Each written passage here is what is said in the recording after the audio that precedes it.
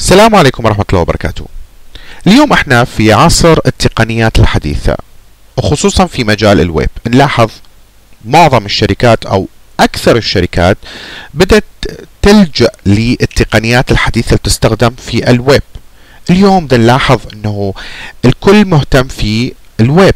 السبب واضح لأنه ما في عندك جهاز ما يدعم الويب. اليوم لما أجي أشوف الموبايل فيها browser الكمبيوتر فيها browser كثير من أجهزة موجود فيها المتصفح. حتى شاشات التلفاز الحديثة نلاحظ فيها أيضا متصفح. وال games الألعاب آه، PlayStation وإلى آخره. بنلاحظ أنه هذه بدأت تدعم الويب.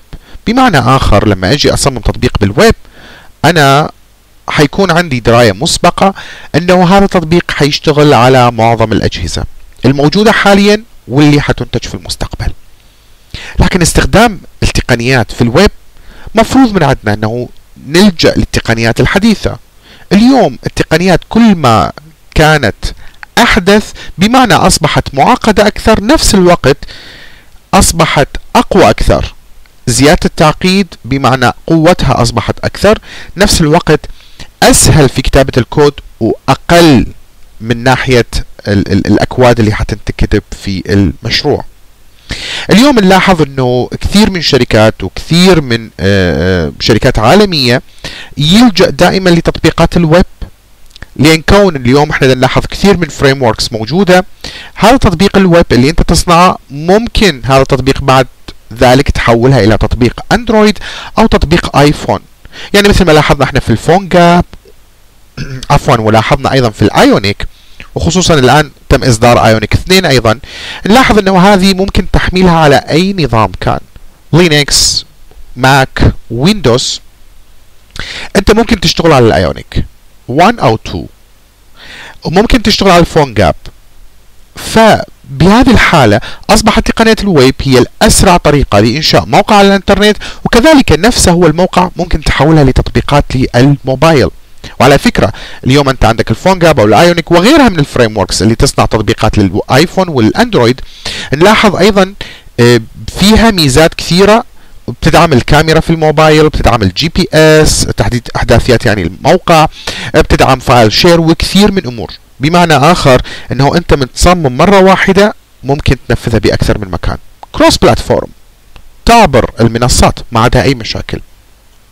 موضوعنا إحنا اليوم هو ال AngularJS 2 مع ال Firebase طيب إحنا نستخدم ال AngularJS 2 كون إنه هي آخر technologies آخر تقنية حديثة من جوجل بعد طرحها لل AngularJS 1 الآن أطلقت AngularJS 2 نفس الوقت بنستخدم ال database Firebase Firebase هو database real time communication بمعنى آخر إنه أنت لحظيا بتقوم ب وضع البيانات. هذه البيانات سريعة جدا كون انه هذه البيانات يتم خزنها في Fire على شكل JSON format بمعنى آخر هم أيضا إنه أنت لما تسترد الملفات بتكون سريعة جدا لأن خفيفة.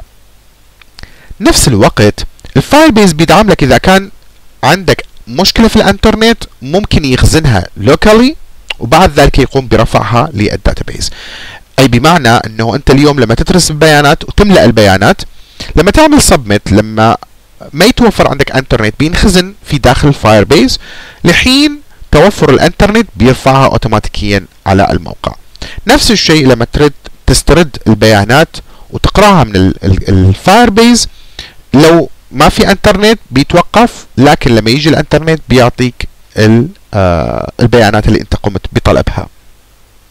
في ناس ممكن يكون عندها سؤال آه الفرق بين ال Angular JS 1 وال Angular JS 2 أو السؤال الأهم إنه أنا لو درست Angular JS أنا لو بدي أدرس ال Angular JS 2 هل لازم أنا أدرس ال Angular JS 1 في فرق بين الاثنين. إحنا نعرف الإصدارات اليوم إيه لما نيجي نفكر فيها نقول مثلا آه Java 7 آه لما أدرس Java 8 المفروض إنه أدرس Java 7 وبعد ذاك أدرس Java 8 في Angular JS الموضوع مختلف.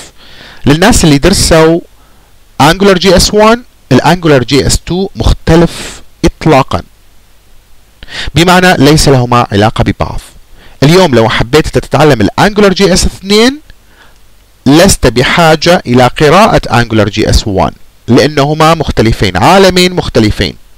لو أنت كنت دارس أصلا Angular JS 1 ف Angular JS 2 يختلف بالكامل. مش حيفيدك لأنه حنلاحظ الفروقات اللي موجودة. طبعا أحب أقدم نفسي أنا المهندس محمد عيسى من العراق من مدينة كركوك. هذه الدورة مخصصة للناس اللي تحب تعمل مشاريع. هذه الدورة إحنا راح نعمل مشروع إضافة بيانات مشروع ممكن نسميها بال HR Human Resource. نقوم بملء بيانات للمستخدمين.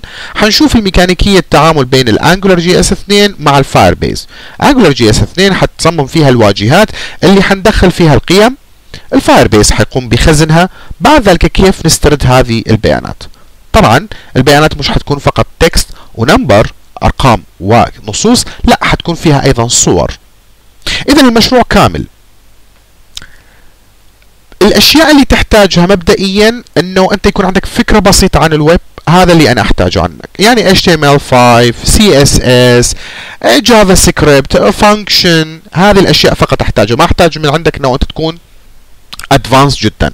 وهذه الدورة حبسطها بقدر الإمكان إنه أسهلها لك حتى تفهم الموضوع. اذا إحنا وصلنا لنهاية الدرس.